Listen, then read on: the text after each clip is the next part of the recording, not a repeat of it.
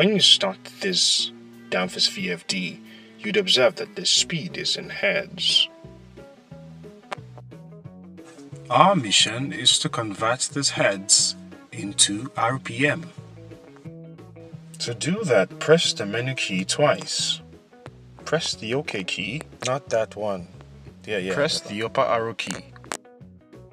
Press the OK key. Can you please press it again? Okay, thank you. Press the lower arrow key. Press the OK key.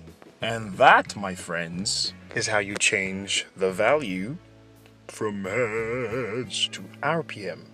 And you can do it the other way around as well. To take it back to hertz, just take it back to the value that it was before. It's as simple as that. So go ahead and try this on your Danfoss VFD and let me know how it turns out in the comments.